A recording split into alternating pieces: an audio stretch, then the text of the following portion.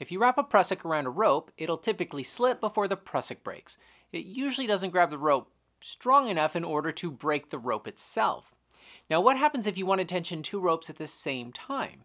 If you wrap the prusik around both ropes, will it slip before it breaks, or will it break the rope, or will it even grab it all? This is just an old strand of rope we were testing with earlier today. So it's dead-ended here to a fixed point with the load cell. This is a single three-wrap prusik around both ropes. We're gonna choke it up, we're gonna set it hard, just like we did out there. And the goal is to see what it fails at. I assume it's gonna slide down the rope and come off the ends, no stopper knots there.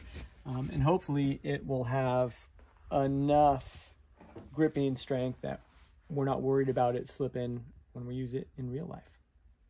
Hopefully it grips. Okay. Yeah. And then, you know, we Yeah. compare it to a single strand and then we'll put it on 11 millimeter, hopefully, which is skinnier. So the ratio between prusik to host rope is less ideal.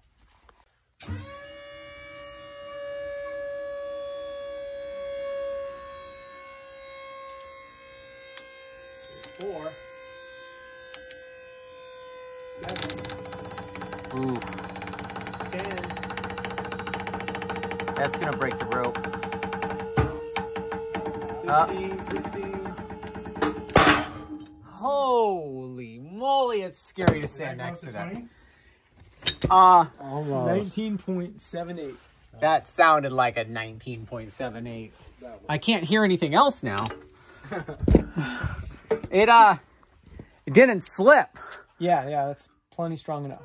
I, I'm shocked that the cordage broke before the prusik slipped. We, we oftentimes use prusiks like clutches so that if we did hang the basket up, we would hope to see it slip a little bit before we could overload the system.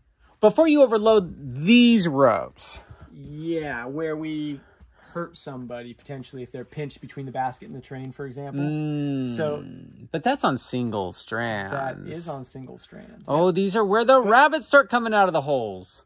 I would have thought it slid quicker on double strand than it did on single. Actually grabbed better. Uh, we're just gonna try single strand for comparison's sake. It's cool how it twists the rope. What number are we at? Five.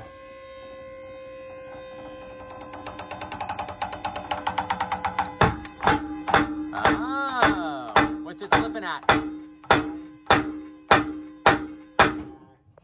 There, there is smoke coming off of that. Yeah, yeah, yeah, and and country dust. That's uh the the the heartbeat of a prusik. Slipping prusik. So yeah, peak force was nine. So so what's going to basically happen is eventually this is going to heat up enough to where one of these will melt to the other, and then uh, then it'll go all the way to failure, which of course I think we should do. all right. All right, so like duck. That prusik is about twice as long as it was when it started. Yeah, the prusik is really long. I mean, maybe it's not gonna melt. Oh, come on. It's just so fun. Yeah, yeah, yeah. Six, If six you're is here. Jammed into a cliff at six or seven, you're going to be much more injured than you were. Yes. Yeah, you don't want to see six or seven. No. So what would you do if you wanted it to slip?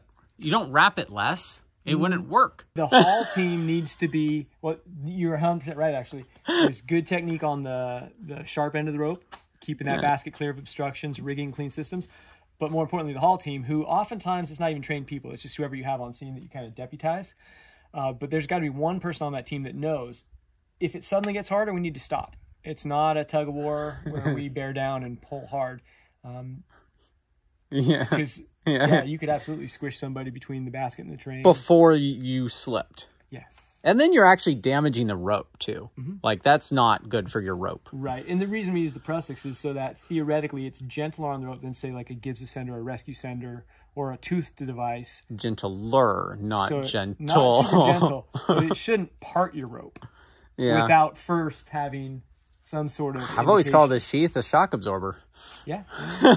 I've seen a Prusik desheath the rope once. All right, so now we're going to switch to 11 millimeter host rope. Um, all of this gear, by the way, is old. It's retired, and that's why we're destroying it here. Uh, the fire department wouldn't let me take the good stuff. So uh, bear in mind that these results, uh, we're just comparing apples to apples. But if you had brand new gear, hopefully the numbers would be better.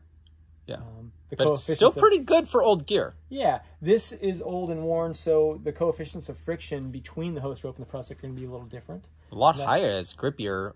Yeah, It's grippier when it's older. Yeah, hundred percent. Yeah. when it's brand new, um, it slips a little earlier than you might want it to sometimes. Ready, ready, boys and girls.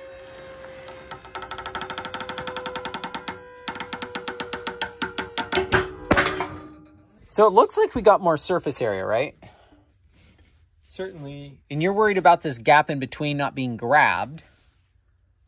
At least I was. Well, I mean, look at that. It just squeezes it together and there is no gap. Yeah. So, and again, the material broke. That prusik did not slip at all. Um, yeah, it doesn't slip when you do two. Yeah, And this is 11 mil. correct. Yeah. Yeah, and we got peak force of thirteen point two three. Th- This rope is 11 mil. Yeah, this rope's Correct. 11 It's and this is 8 on 11 is But our we got way less on the prusik and it broke in a different spot. True. These We got- are Well, they could have a huge variety on their own. old, old, old. Yeah. Yeah, I didn't expect the material to be breaking. I thought they would just slip the hitch. I mean, 13's still strong, Yeah. but it's not slipping. Let's try single strand. Single strand. Just- Ooh, it's sliding. Oh, it's sliding. What's it sliding at? Uh, 6.1 now, peak is 8. Weird. Interesting. The longer it's So, was it going down the whole time? That, because the inside of the press is getting glazed, maybe? no, I mean, Yeah, I think The the, inside longer. is getting glazed. What are your thoughts That's how I expected it per- to perform um, on, on the other one? on the other ones. Yeah. me too. So uh, I'm happy with it. That's plenty strong for everything that we're going to do with it. Feel- feel And um, that had the clutch Feel effect the rope on either better side. than any of the other ones. It didn't have like that hold too tight slip thing. Oh, that's Neat. interesting. you know what the longevity of this rope is?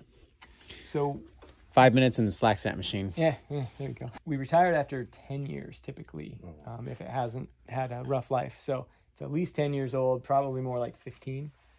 And um, in good shape, obviously, in terms of its use and abuse. I thought what was interesting here is that on that half inch rope, it kind of had that pulsing skip. And this one was just a smooth Yeah. descent.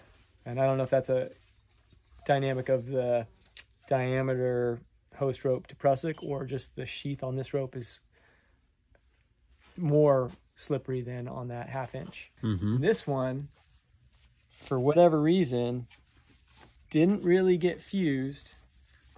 It's Yeah. glazed for sure, but it comes off no problem.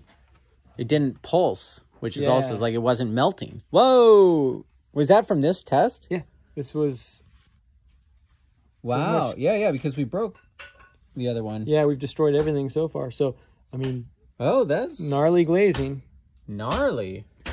but that it didn't, is didn't cool. melt like the other one did together. Not together. It didn't melt. Yeah. Let us know if uh, you guys want this type of content because it doesn't get 100,000 views when we make this stuff. Uh, we need to know if you like it. So put that in the comments below. Smash stuff that looks like this.